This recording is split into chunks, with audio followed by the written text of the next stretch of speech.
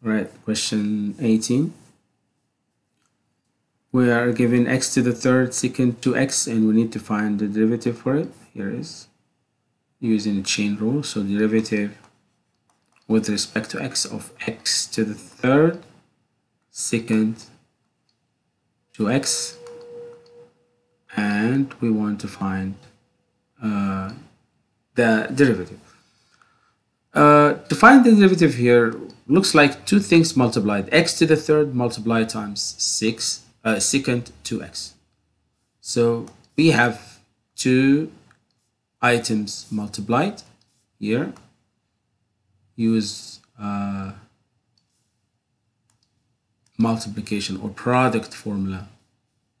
If this is u this is v the derivative will be u dash v.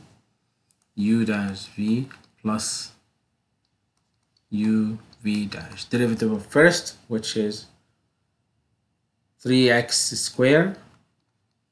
Times the second. The second is secant secant 2x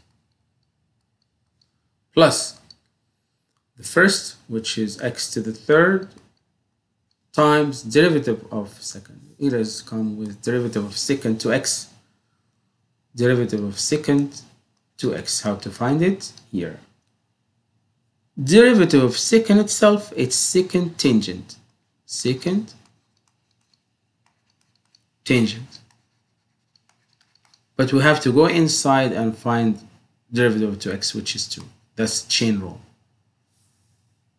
So you're going to drop 2 here in the front and copy secant uh, 2x uh, times uh, tangent 2x. If we look at that, uh, question 18, if we look at that, you're going to find that uh, 3x squared secant 2x uh, 2x uh, to the third here in the beginning secant tangent to x. And then you have 3x squared plus secant to x. You could switch. That's okay. So the answer for that is uh, 18. Uh, D. Question 19. A particle moves along y-axis when the time is 0 and more. Its position given by y of t equals t to the third minus 4t squared plus 4t plus 3 position could be could be uh, expressed or noted as x of t, y of t, z of t, or even s of t.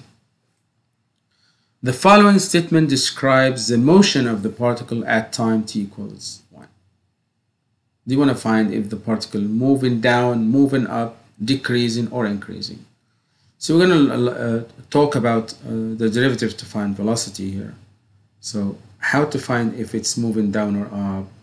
If the velocity is negative, then it's moving down. If the velocity is positive, then it's moving up. So velocity, which is the derivative y dash of t. So the derivative will be a 3t square, drop 3 3t square, minus 2 times 4 is 8, 8t. Okay and then we're going to evaluate that at 1 so v of 1 will be 3 1 is square is 3 minus 8 times 1 is 8 will be negative 5 that's negative. So it's moving down. Okay. How to find out so it will be a or b? A or b. How to find if it's decreasing or increasing? So look at the acceleration so we need to do the derivative again for this part, derivative again. So A of t equals the derivative of v.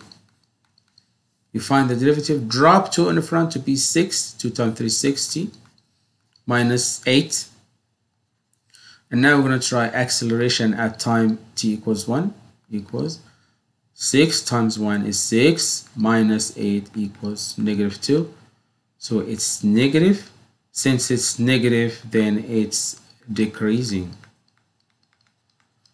So the object or the particle is moving down the y-axis with the decreasing velocity, down and decreasing. So the answer A will be A.